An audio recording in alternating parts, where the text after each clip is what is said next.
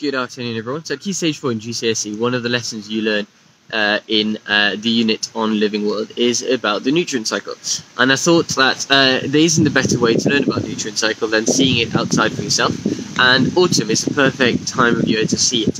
Every time you walk around, you can see all these beautiful golden leaves, which are from the deciduous trees, eventually fall onto the floor.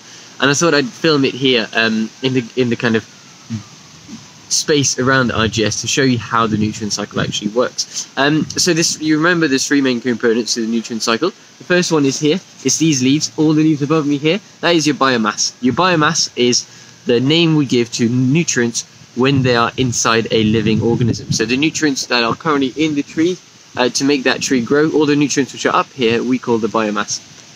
In autumn, and that's why uh, it gave me the inspiration for the video. All these deciduous leaves, eventually here, there you go, I've literally just picked it, it'll fall to the floor, and when you, when you end up having, uh, what you end up having, sorry, on the floor is all this litter. This is what we call litter. Um, and the litter is basically all these dead uh, leaves, which on the floor decompose via the mushrooms and fungi and release all the nutrients they held back into the soil, which is our third part of the nutrient cycle. And this soil can then be used and store the nutrients. For these you probably see around here you've got some small nettles. Not great plant but the nettles will be using the nutrients in the soil in order to grow and prosper.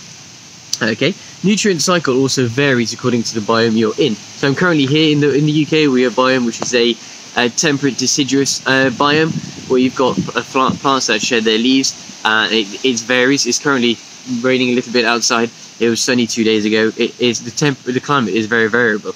Um, and the, the speed at which this cycle works will is determined by the climatic conditions around you. So in the in the tropical rainforest, this the process happens really really quickly because the litter on the floor decomposes faster when it's hot, and we know or we all know from the um, from our lessons on the tropical rainforest that the temperatures around the, in the rainforest are uh, very um, stable. They stay the same all year round, and it's, it's very hot wet and damp and humid conditions. And that is the perfect conditions to speed up the process by which this litter decomposes. So in the in the rainforest it'll take very little time for this uh, litter to decompose and release the nutrients back into the soil. The colder it gets the slower the cycle uh, becomes. So in the UK it's obviously a lot slower than the rainforest but if you were to go to northern Norway or if you were to go to Iceland that process would be even slower than in the UK just because the temperature is so much lower there's less heat. And if there's less heat mold in essence, or uh, decomp- decomposition happens a lot slower. It's the same process in your kitchen when you have, let's say, you leave a banana on the counter. The banana on the counter will eventually go moldy and go and go off a lot quicker out on the counter, even faster if you were to put it in a microwave, but it'll slow down dramatically if you put the banana in the fridge. Okay, and it's the same idea with litter.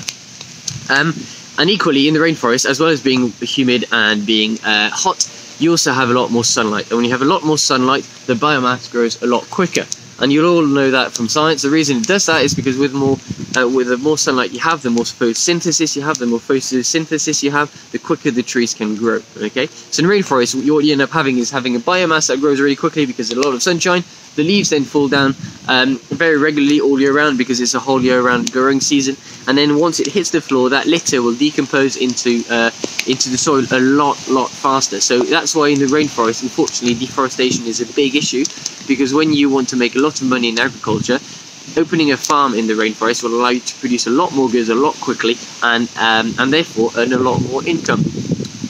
I hope all this makes sense. I hope this gives you a bit of an insight on how the nutrient cycle works. I know my year 10s have an assessment on Thursday and on Friday, and year 11s also have one on Thursday. So it's good revision, if that makes sense. But yeah, who knew you could actually, or who knew? I knew, and I know now you know. Uh, you can actually see geography wherever you go. I'm here in the in, in the uh, in the area around the Astra in RGS, and you can literally see the uh, the nutrient cycle. I hope that helps. Have a lovely evening, and I hope I'll see you all soon, despite the fact a lot of you are isolating. Look forward to teaching you again in the classroom.